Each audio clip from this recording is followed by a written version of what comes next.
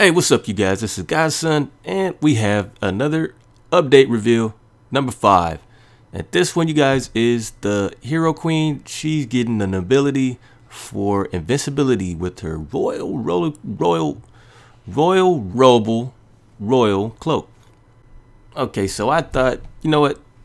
That's a good move for her to have because I was thinking, okay, maybe they could give her, you know, a healing thing or a charge shot, but you know, invincibility does sound like a good thing. However, the queen at level 40 tends to be probably the one of the best troops in the game. And I'm just worried right now, giving the queen this kind of ability might make her just a little too overpowered in the game. So so we're getting a lot of things that are actually helping offense and not really defense. So I'm just curious to know how Supercell is going to balance this out. If it's going to be just an offense update or are we going to get something to counterbalance this and maybe have another uh, weapon or something to even the playing field out.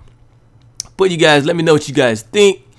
If this is going to be all the updates going to bring some people are, you know, going crazy in the comments on uh, Facebook saying, "When's the update?" But I'm glad they're not bring they're not, you know, letting the update out yet because I still hope they have some better stuff. Uh, maybe Clan Wars or something that can help us out, make everyone happy. But again, you guys, let me know in the comments what you think about this new update, the Hero Ability Royal Cloak for the Queen. And I will see you next time.